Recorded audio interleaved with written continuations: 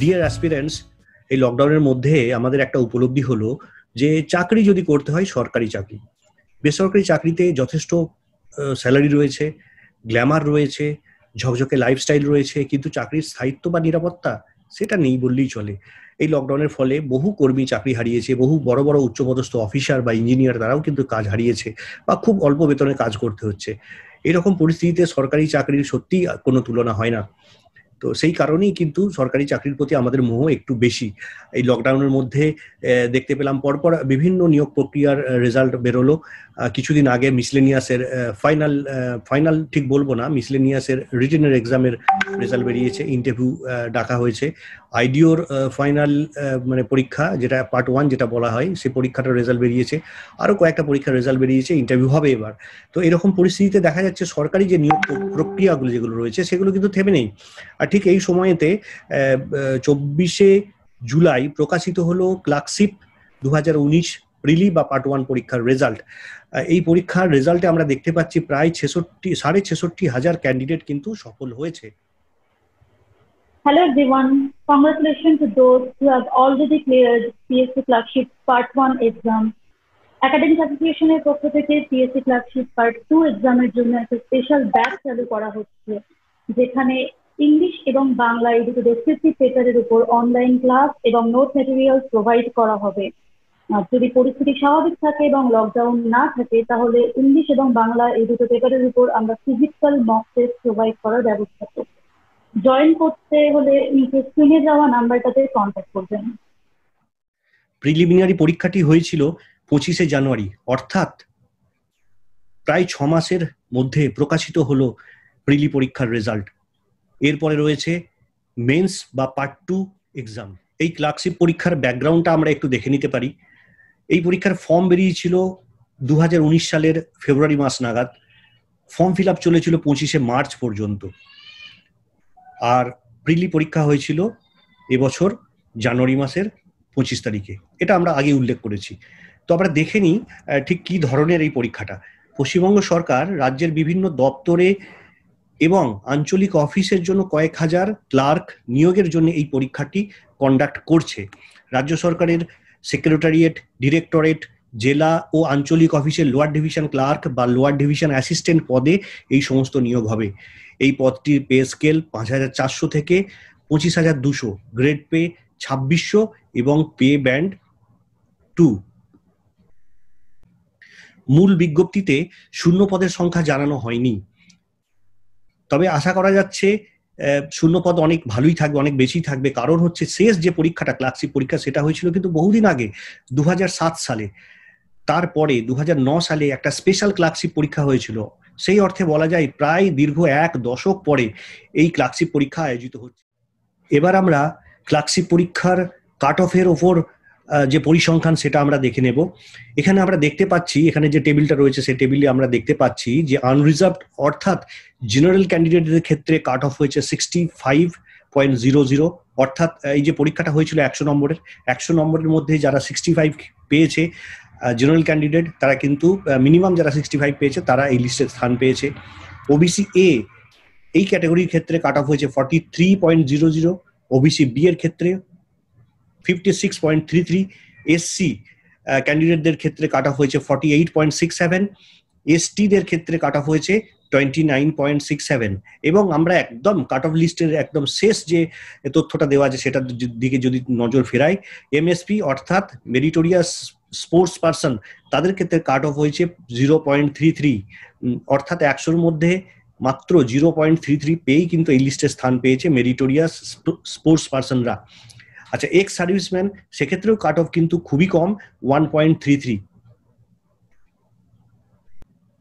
PSC থেকে যে রেজাল্টটা পাবলিশ করা হয়েছে, তার শেষ পেজেতে আমরা দেখতে পাচ্ছি serial number six six four nine two অর্থাৎ ছেষট্টি হাজার চারশো বিরানব্বই জন ফাইনালি সিলেকশন পেয়েছে। ফাইনালি বলব না, বরঞ্চ প্রফেশনালি সিলেকশন সিলেকশন পেয়েছে পার্ট টু এক্সামের জন্য। এবং এখানে আমরা দেখতে পাচ্ছি date twenty seventh July two zero two zero অর্থাৎ এই ডেটে পরীক্ষার ফলটা হলো। প্রিলি বা পার্ট ওয়ান পরীক্ষা সম্পর্কে বিভিন্ন তথ্য আমরা জানলাম। এবার আমরা পরবর্তী যে স্টেপ অর্থাৎ মেন্স বা পার্ট টু যে এক্সামটা আগে দিতে হবে, সামনের দিনে দিতে হবে, সেই সম্পর্কে আমরা একটু ধারণা নেব। তো এই প্রসঙ্গে বলে রাখা দরকার যে এই যে পরীক্ষাটা দুটো স্টেজে হচ্ছে। প্রথম যেটা পার্ট পার্ট ওয়ান যেটা হয়ে গেছে আর পার্ট টু যেটা, সেটাতে রয়েছে মেন্স বা মেন্স বা ডেসক্রিপটিভ মানে এখানে লিখিত পরীক্ষা দিতে হবে। সেটা হবে একশো নম্বরের। প্রিলি হয়েছিল একশো নম্বরের, আবার মেন্স পরীক্ষাটাও হবে একশো নম্বরের। এই দুটো exam part one part two prelim এবং মেন বা পার্ট টু ডেসক্রিপটিভ এই দুটো পরীক্ষার নাম্বার যোগ করে কিন্তু ফাইনাল মেরিট লিস্ট তৈরি হবে। অর্থাৎ এটা বোঝা যাচ্ছে মেন্স এক্সামটা খুব গুরুত্বপূর্ণ। এখন যেসব ছাত্রছাত্রীরা প্রিলি পরীক্ষায় পাস করেছে বা পার্ট ওয়ান পরীক্ষায় পাস করেছে, তাদের অতি অবশ্যই মেন্স পরীক্ষাটা খুব ভালো করে দিতে হবে নিজের চাকরিটিকে নিশ্চিত করবার জন্যে। আমরা স্ক্রিন স্ক্রিন থেকে দেখে নিতে পারছি, দ্বিতীয় পর্যায়ের যে পার্ট টু এক্সামটা হবে, সেটা হবে কনভেনশন কনভেনশনাল টাইপের ডেসক্রিপটিভ বা লিখিত পরীক্ষা। আচ্ছা এই পরীক্ষায় রয়েছে দুটো গ্রুপ পেপার কিন্তু একটা থাকছে, কিন্তু গ্রুপ রয়েছে দুটো। গ্রুপ এ তে রয়েছে ইংরাজি এবং গ্রুপ বি তে রয়েছে বাংলা এবং দুটি গ্রুপ দুটি গ্রুপের প্রত্যেকটির জন্য বরাদ্দ রয়েছে পঞ্চাশ নম্বর, অর্থাৎ পঞ্চাশ পঞ্চাশ পঞ্চাশ বাংলা এবং পঞ্চাশ ইংরাজি। আমি ঠিক বাংলা কথাটা যেটা বললাম, সেটা একদম টেকনিক্যালি ঠিক নয়, কারণ এটা হচ্ছে ভাষাপত্র, এই ব্যাপারে আমরা একটু ডিটেলসে ডিসকাস করব এক্ষুনি। তো ভাষাপত্রে পঞ্চাশ এবং ইংরাজিতে পঞ্চাশ, মোট একশো নম্বরের পরীক্ষা এবং এই একশো নম্বরের পরীক্ষাটা দেওয়ার জন্য সময় পাওয়া যাবে মাত্র এক ঘণ্টা। এটা কিন্তু খেয়াল পার্ট টু পরীক্ষার পর আর একটা স্টেপ রয়েছে, সেটা সম্পর্কে একটু হাইলাইট করে দেওয়া যেতে পারে এখানে। এখানে বলা হচ্ছে, কোনো পরীক্ষার্থী যদি পার্ট ওয়ান এবং পার্ট টু এই দুটি পরীক্ষায় সফল হয়, তবে তাকে কম্পিউটার টাইপের পরীক্ষা দিতে হবে। এই সময় পরীক্ষার্থীর কম্পিউটার ব্যবহারের ওপর প্রাথমিক ধারণার পরীক্ষাও নেওয়া হতে পারে। অর্থাৎ আমরা জানলাম পার্ট ওয়ান পার্ট টুর উপর একটা ফাইনাল মেরিট লিস্ট তৈরি হবে, তারপরে একটা কম্পিউটার টেস্ট হবে এবং এই সময় কম্পিউটারের বেসিক নলেজের ওপরও একটা পরীক্ষা হয়তো নেওয়া হতে পারে। সেটা খুব একটা গুরুত্বপূর্ণ নয়, কারণ ফাইনাল মেরিট লিস্ট তৈরি হয়ে যাওয়ার পর আমাদের হাতে সময় থাকবে কম্পিউটার প্র্যাকটিস করবার জন্য এবং সেই সঙ্গে কম্পিউটারের বেসিক নলেজগুলোকে অ্যাকোয়ার করবার জন্য। এবার আমরা পার্ট টু পরীক্ষার সিলেবাস বা টপিকগুলো নিয়ে একটু ডিসকাস করব। এখানে আগেই বলেছি দুটো গ্রুপ রয়েছে। গ্রুপ এ এই বিষয়টিতে রয়েছে ইংরাজি এবং এখানে পঞ্চাশ নম্বরের পরীক্ষা দিতে হবে। আচ্ছা এখানে তিনটি বিষয় বা চ্যাপ্টার থাকছে, সেটা আমরা একটু দেখে নিই। এখানে আমরা দেখতে পাচ্ছি হাইলাইট করা রয়েছে। প্রথমে থাকছে যেটা, সেটা হচ্ছে ইংরাজিতে রিপোর্ট ড্রাফট করা। ইংরাজিতে, অর্থাৎ ইংরাজিতে আমাদের রিপোর্ট ড্রাফট করতে হবে এবং সেক্ষেত্রে আমাদের রিপোর্ট লেখার জন্য পয়েন্ট বা নির্দেশ দেওয়া থাকে। তাহলে আমরা জানতে পারলাম যে রিপোর্ট আমাদের লিখতে হবে তার জন্য কিন্তু ডিরেকশন দেওয়া থাকবে। নোটিফিকেশনে কিন্তু এটা উল্লেখ রয়েছে।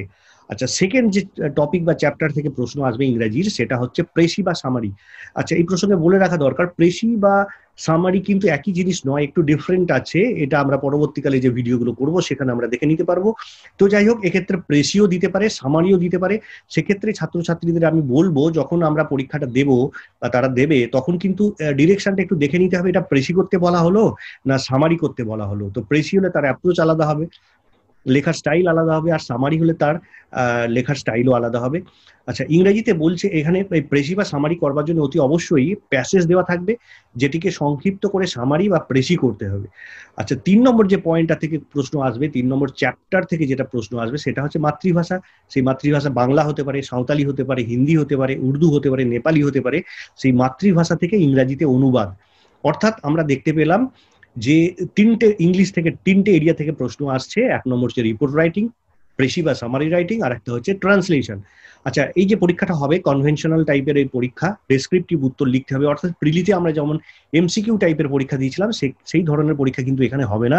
এখানে ডেসক্রিপটিভ আমাদের খাতায় উত্তর লিখতে হবে স্কুল কলেজে যেরকম দিয়ে থাকি।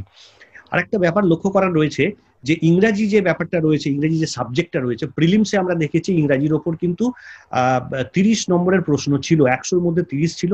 আবার মেন্স বা পার্ট টু এক্সামটাতেও দেখছি একশোর মধ্যে রয়েছে পঞ্চাশ। অর্থাৎ টোটাল দুশো নম্বরের মধ্যে ইংরাজির জন্য বরাদ্দ রয়েছে আশি নম্বর। অর্থাৎ ইংরাজিতে যারা একটু কাঁচা, তারা কোয়ালিফাই করে গেছে পার্ট ওয়ান কোয়ালিফাই করে গেছে, তবুও আমি বলব যে ইংরেজিতে যারা কাঁচা, তারা কিন্তু ইংরাজির জন্য একটু পড়াশোনা করতে হবে, একটু খাটতে হবে। আর এই প্রসঙ্গে একটা কথা বলে রাখা দরকার, যে এখানে আমরা বলছি ওটা ইংরাজি, কিন্তু এখানে ইংরেজির এখন বেসিক জায়গাগুলো দেওয়া রয়েছে। প্রথমত একটা রিপোর্ট লিখতে হবে রিপোর্ট সেটা আমার মনে হয় ম্যাক্সিমাম দুশো ওয়ার্ডের মধ্যে লিখতে হবে, সেটা দেড়শো হতে পারে এবং সেখানে পয়েন্ট দেওয়া থাকবে, সেই পয়েন্ট বা হিন্ট দেওয়া থাকবে, সেই অনুযায়ী লিখতে হবে। অর্থাৎ আমাকে একটা গাইডলাইন দেওয়া থাকছে যে রিপোর্ট লিখবার জন্য। প্রেসি এবং সামারি এখানে টোটাল প্যাসেজ দেওয়া থাকে, সেখানে ছোট করে লিখতে হয় এবং তিন নম্বর যেটা ট্রান্সলেশন সেটা বাংলাতে বা অন্য সাবজেক্টে যেটা দেওয়া থাকবে তাকে ইংলিশে ট্রান্সলেট করতে হবে। অর্থাৎ নিজের মৌলিক লেখার জায়গাটা বেশ কিন্তু কম। এখানে একটু যদি প্র্যাকটিস করা যায়, সেটা প্রেসি হোক বা সামারি হোক বা রিপোর্ট লেখা হোক বা ট্রান্সলেশন হোক এটা যদি আমরা ঠিকঠাক করে একটু প্র্যাকটিস করে নিতে পারি তাহলে ইংরাজি যেটা আমাদের পক্ষে দুর্বলতার একটা বিষয় বা যেটা একটা সমস্যার বিষয় বিশেষত গ্রাম বাংলার ছেলে মেয়েদের কাছে তাদের ক্ষেত্রে আমি বলব একদমই অসুবিধা হবে না। সেই জন্য একটু সিস্টেমেটিক পড়াশোনা করা দরকার এবং অতি অবশ্যই দরকার যেটা সেটা হচ্ছে প্র্যাকটিস শুধু প্র্যাকটিস আর প্র্যাকটিস দরকার, না হলে কিন্তু সমস্যায় পড়তে হবে। কীভাবে সমস্যায়? আমি একটু পরেই ডিসকাস করব। কারণ এখানে টাইম একটা বেশ বড় ফ্যাক্টর হয়ে দেখা দেবে। আচ্ছা এই প্রসঙ্গে আরেকটা কথা বলে রাখি। আমরা বললাম, এর আগে হাইলাইট করেছি, আমি সেকেন্ড যে টপিক যেটা গ্রুপ বি যেটা বলা হচ্ছে গ্রুপ বিতে এখানে লেখা রয়েছে যে মাতৃভাষা।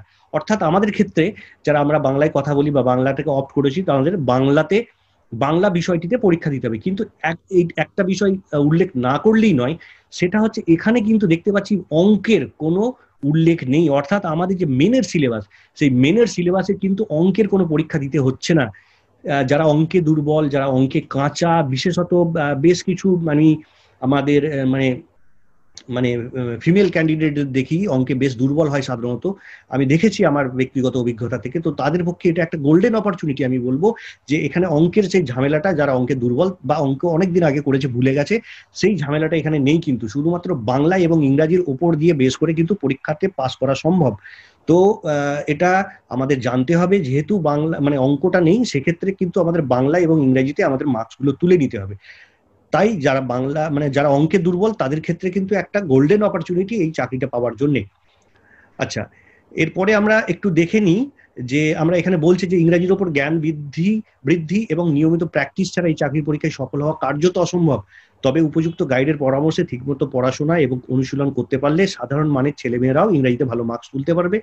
কেন আমি আগেই ডিসকাস করেছি যে একটু প্রিপারেশন দরকার, আর এখানে এমন টাফ কিছু জিনিস আসবে না। আর একটা নোটিফিকেশনে বলা হয়েছে, সেটা হচ্ছে যে মেন্স পরীক্ষা বা পার্ট টু পরীক্ষা সেটা কিন্তু হবে মাধ্যমিক মানের, মাধ্যমিক লেভেলের অর্থাৎ এই পরীক্ষার স্ট্যান্ডার্ড যেটা হবে মেন্স পরীক্ষা বা পার্ট টু পরীক্ষা, সেটার স্ট্যান্ডার্ড হবে মাধ্যমিক লেভেলের অর্থাৎ যে খুব টাফ কোনো একটা প্যাসেজ দিয়ে তার প্রেসি করতে বলা হলো বা টাফ কোনো কোনো প্যাসেজ দিয়ে সেটাকে ট্রান্সলেশন করতে বলা হলো কিংবা একটা রিপোর্ট দেওয়া হলো যার পয়েন্টগুলো খুব টাফ যেগুলো হয়তো আমরা বুঝতেই পারছি না বা আননোন কোনো জিনিস বুঝতে পারছি না, সেরকম জিনিসের ওপর লিখতে হবে, সেটা নয় কিন্তু এখানে পরিষ্কার বলা রয়েছে এটা মাধ্যমিক লেভেলের অর্থাৎ মাধ্যমিক স্ট্যান্ডার্ডের কোশ্চেন এটা হবে এবং মাধ্যমিক এবং এর ক্রাইটেরিয়া এই যে ক্লাসিক চাকরির পরীক্ষার যে ক্রাইটেরিয়া সেটাও তো ছিল মাধ্যমিক। অর্থাৎ মাধ্যমিক মানের ছেলে মেয়েদের কাছে যে ধরনের ইংলিশ আশা করা যায়, যে লেভেলের ইংলিশ আশা করা যায়, এটা আশা করা যাচ্ছে যে ঠিক সেই ধরনের প্রশ্ন হবে। তাই ইংরাজিতে যারা একটু উইক আছো, তাদের চিন্তার কোনো কারণ নেই।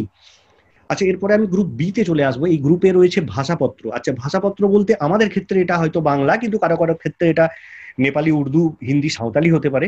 তো যাই হোক, এখানে সিলেবাসটাও একটু দেখে নিই।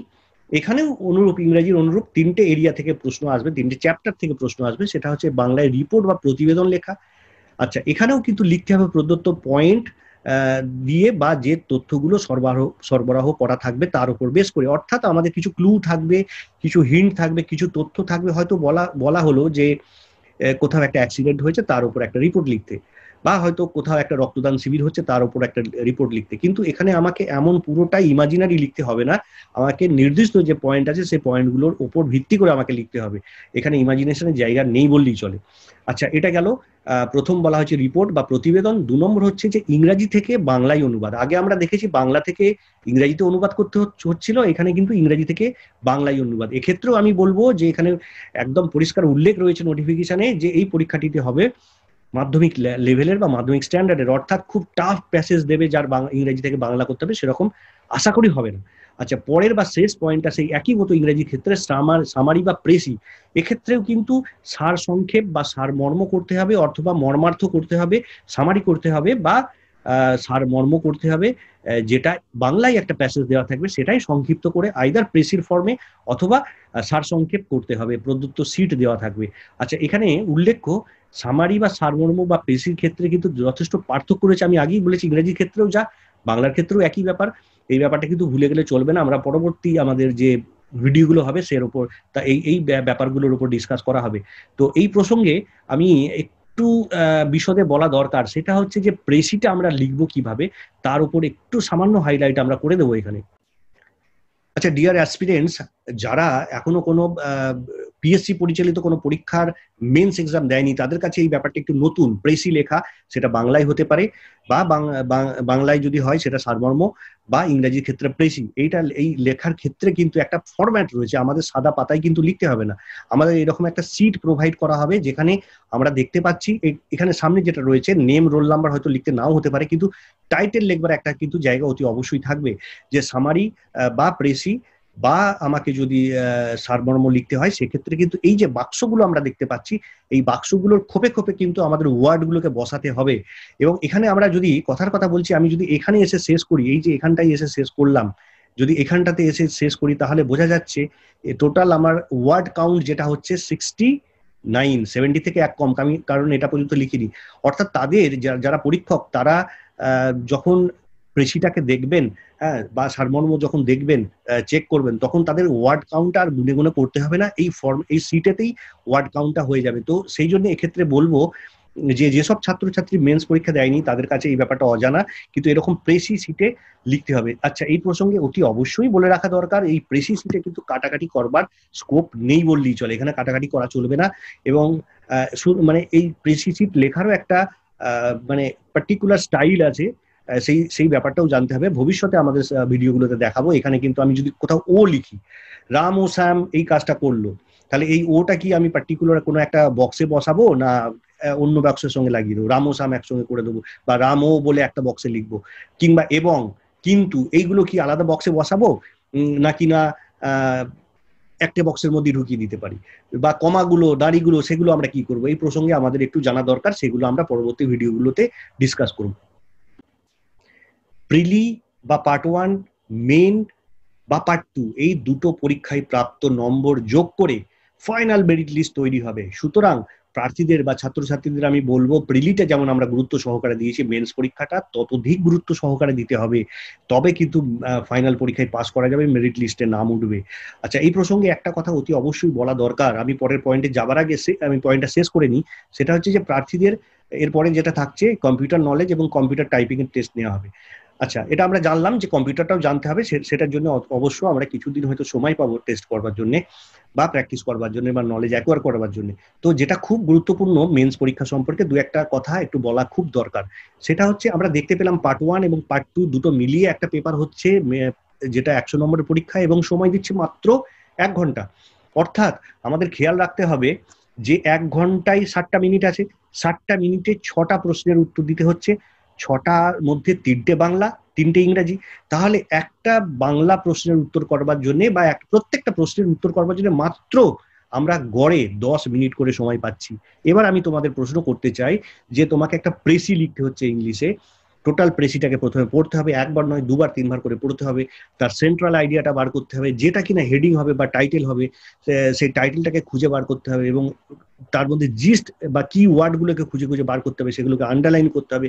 আন্ডারলাইন করার পরে যদি সম্ভব হয়, আমাদের রাফ সিটেতে সেটাকে আমাকে লিখে ফেলতে হবে পয়েন্টগুলোকে লিখে পয়েন্টগুলোকে জট ডাউন করতে হবে এবং ফাইনালি আমাদের প্রেসি সিটে তুলতে হবে। এখন এবার তোমরা বলো যে এই মাত্র দশ মিনিটের মধ্যে সেটা কি সম্ভব? সম্ভব? সত্যি বেশ কঠিন কাজ। বেশ নয়, মারাত্মক কঠিন কাজ। এরকম কাজ তোমাকে দুটো করতে হচ্ছে। একটা হচ্ছে বাংলাতে করতে হচ্ছে, বাংলা প্রেসির ক্ষেত্রে এবং ইংরাজি প্রেসির ক্ষেত্রে এই কাজটা করতে হচ্ছে। শুধুমাত্র দুটো প্রশ্ন গেল। দুটো প্রশ্ন অর্থাৎ কুড়ি মিনিটে তোমাকে এত কিছু কাজ করতে হচ্ছে। সেই জন্য টাইম ম্যানেজমেন্ট একটা মারাত্মক ফ্যাক্টর আমি একদম নিশ্চিত করে বলতে পারি, তোমরা পরীক্ষা দিয়ে এসে অনেকেই বলবে যে আমি সব প্রশ্নের অ্যাটেম্প করতে পারলাম না। এই ব্যাপারটা প্রথম থেকে, এখন থেকে কিন্তু সতর্ক হওয়া দরকার। এই সব প্রশ্নের অ্যাটেম্প করা সম্ভব হবে, তুমি বাড়িতে এসে যদি প্র্যাকটিস করো, দেখবে সব প্রশ্নের উত্তর আনসার করতে পারছ, সুন্দর গুছিয়ে লিখতে পারছ। কিন্তু পরীক্ষার হলে পারাটা খুব টাফ যদি না আমরা খুব ভালো করে প্র্যাকটিস করি, আমাদের সাধারণত বহুদিন আমরা লিখি না। মোবাইলে লিখলেও শর্ট ফর্মে লিখি। তো তার ফলে কি হচ্ছে, লেখার যে হ্যাবিটটা সেটা বাংলা হোক কিংবা ইংরেজি, সেই লেখার হ্যাবিটটা কিন্তু আমাদের চলে গেছে। সেই লেখার হ্যাবিটটাকে ফিরিয়ে নিয়ে আসতে হবে। আরেকটা কথা বলে রাখি, এই চাকরির দুর্মূল্যের সময়ে যেখানে সবাইকার চাকরি চলে যাচ্ছে সেই রকম একটা গোল্ডেন অপরচুনিটি তোমাদের সামনে এসে হাজির হাজির হয়েছে এবং বহু ছাত্রছাত্রী এখানে রয়েছে যাদের বয়স প্রায় শেষের দিকে। তো তাদের ক্ষেত্রে বলব একটা প্রাণপণ লড়াইটা তোমাদের চালিয়ে যেতে হবে। আর যেটা যদি করতে পারো, মাত্র একশো নম্বরের পরীক্ষা। বাংলা আর ইংরাজি, এই পরীক্ষাটা যদি একটু সিরিয়াসলি দিতে পারো, একটু সিনসিয়ারলি দিতে পারো, তাহলে কিন্তু জীবনের অনেকেরই কেরিয়ার জীবনের শেষ লগ্নে এসে হয়তো উপস্থিত হয়েছে, তারা কিন্তু একটা গভর্নমেন্ট সার্ভিস পেতে পারবে। আর এই সার্ভিস নো ডাউট খারাপ নয়, যথেষ্ট ভালো চাকরি। এখান থেকে প্রমোশনের স্কোপ রয়েছে এবং এরকমও হয়তো হতে পারে ক্লার্ক হিসেবে তুমি হয়তো জয়েন করবে, একটা দিন আসবে তুমি যখন রিটায়ার করবে, সেটা হয়তো অফিসার হিসেবে গেজেটেড অফিসার হিসেবে তুমি কিন্তু রিটায়ার করবে। সেটা অনেক বড় কিন্তু পাও না তোমার লাইফের পাও না সুতরাং আমি ছাত্রছাত্রীদের বলব, এই গোল্ডেন অপরচুনিটিটা হাতছাড়া করা একদমই উচিত হবে না। আর যেসব ক্যান্ডিডেট অলরেডি কোনো না কোনো চাকরি পেয়ে বসে আছো, হয়তো মিসলিনিয়াসে রয়েছো আইডিওতে রয়েছে বা অন্য কোনো ক্লার্কের বা সম স্কেলের বা তার থেকে বেশি স্কেলের চাকরিতে রয়েছে, তাদের ক্ষেত্রে আমি রিকোয়েস্ট করব আর বাকি যেসব ছাত্রছাত্রী রয়েছে তাদের তাদের পক্ষ থেকে আমার রিকোয়েস্ট থাকবে। তোমরা, যদি তোমরা একটা ভালো জায়গায় চাকরিতে থাকো, তাহলে প্লিজ দয়া করে তোমরা কিন্তু এই পরীক্ষাটায় বসো না। কারণ তোমাদের যে ভাই বোনেরা রয়েছে, তাদের চাকরিটা সত্যিই খুব দরকার। তাদের জন্য কিন্তু তোমার সিটটা যাতে ব্লক না হয়ে থাকে সেটা কিন্তু একটু আমাদের দেখা খুব কর্তব্য। এটা এটা অতি অবশ্যই আমাদের দেখা দরকার। এই প্রসঙ্গে একটা কথা উল্লেখ করা জরুরি। কিছুদিন আগে পিএসসি একটা ডেট লাইন প্রকাশ করেছে যে এই টেন্টেটিভ একটা ডেট কিছু, বেশ কিছু পরীক্ষার টেন্টেটিভ ডেট দিয়েছে। সেখানে আমরা দেখতে পেয়েছি যে এই পরীক্ষাটা ক্লাসিক পার্ট টু পরীক্ষাটা হওয়ার কথা সাতাশে সেপ্টেম্বর। এবং যদি সবকিছু ঠিকঠাক থাকে, আশা করা যায় ওই সময়তে হয়তো পরীক্ষাটা হবে। অর্থাৎ আজকে আমাদের মানে হাতে যদি সময়, কথা বলি যে সময় যথেষ্ট সময় আছে, এটাও যেমন ঠিক, আবার বলব যে প্রচুর সময় আছে, সেটাও ঠিক নয় কিন্তু।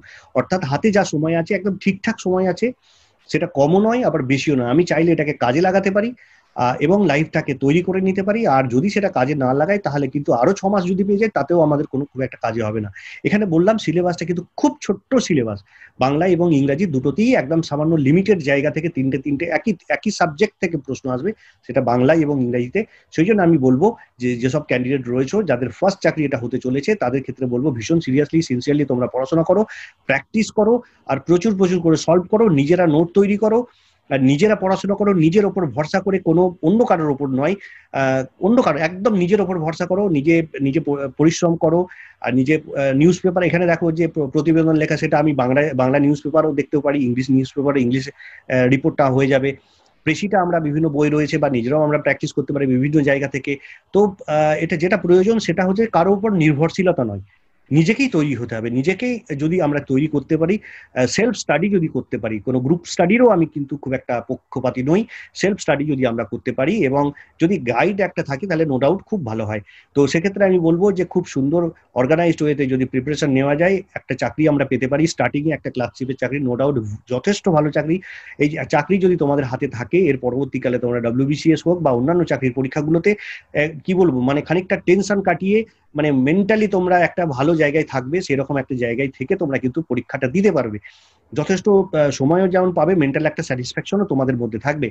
সেই জন্য আমি শেষ করবার আগে প্রত্যেক ক্যান্ডিডেটকে আমি বলব, তোমরা এই পরীক্ষাটাকে সিরিয়াসলি নাও সিনসিয়ারলি নাও, একটু প্রিপারেশন নাও। প্রিপারেশন মানে খুব বেশি নেবার কোনো প্রয়োজন নেই, খুব লিমিটেড জায়গা। শুধু একটা জিনিস খেয়াল রাখতে হবে, তোমাদের কিন্তু টাইম ম্যানেজমেন্টটা করতে হবেই একদম, হবেই হবে। টাইমটাই একমাত্র একটা জিনিস যেটা নিয়ে সমস্যা, সেটা হচ্ছে টাইম ম্যানেজমেন্ট এই টাইম ম্যানেজমেন্টটা যদি করতে পারো, দশ মিনিটে প্রত্যেকটা কোশ্চেনের আনসার লিখতে হবে। এরকম মানসিকতা শুধু নয়, সেটাকে কাজে যদি তার আগে বহুবার তোমরা মক টেস্ট এক্ষেত্রে আমি বলব দেওয়া প্রয়োজন, তোমরা যদি বহুবার মক টেস্ট দিয়ে সে হাতের স্পিডটাকে নিয়ে আসতে পারো, গুছিয়ে যদি ইংরাজি এবং বাংলাটা লিখতে পারো এবং আমি সেক্ষেত্রে আমি বলব একদম দায়িত্ব নিয়ে বলতে পারি, তোমাদের এই চাকরি থেকে কেউ রুখতে পারবে না। অল দ্য বেস্ট আশা করি তোমরা আমাদের এই আমাদের এই ভিডিওটা শুনে তোমাদের খুব ভালো লাগবে, কাজে লাগবে। তোমরা সবাই পড়াশোনার মধ্যে একদম ঝাঁপিয়ে পড়ো। লকডাউনে তোমাদের এখন তো বেরোতে হচ্ছে না, কাজকর্ম অনেক লিমিটেড হয়ে গেছে। সপ্তাহে সাত দিন আগে বাজার যেতে হতো, এখন একদিন বাজার যেতে হচ্ছে। এই সময়টাকে কাজে লাগাও। যেখানে যেমন অবস্থায় তোমরা রয়েছো প্রিপারেশন নিতে থাকো।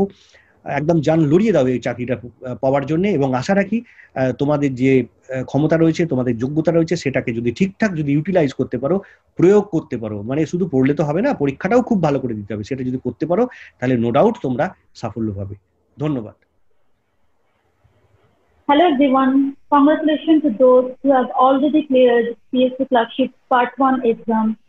Academic অ্যাসোসিয়েশনের পক্ষ থেকে পিএসসি ক্লার্কশিপ পার্ট টু এক্সামের জন্য একটা স্পেশাল ব্যাচ চালু করা হচ্ছে, যেখানে ইংলিশ এবং বাংলা এই দুটো ডেসক্রিপটিভ পেপারের উপর অনলাইন ক্লাস এবং নোট মেটেরিয়াল প্রোভাইড করা হবে। যদি পরিস্থিতি স্বাভাবিক থাকে এবং লকডাউন না থাকে, তাহলে ইংলিশ এবং বাংলা এই দুটো পেপারের উপর আমরা ফিজিক্যাল মক টেস্ট প্রোভাইড করার ব্যবস্থা করব। জয়েন করতে হলে নিচে স্ক্রিনে যাওয়া নাম্বারটাতে কন্ট্যাক্ট করবেন।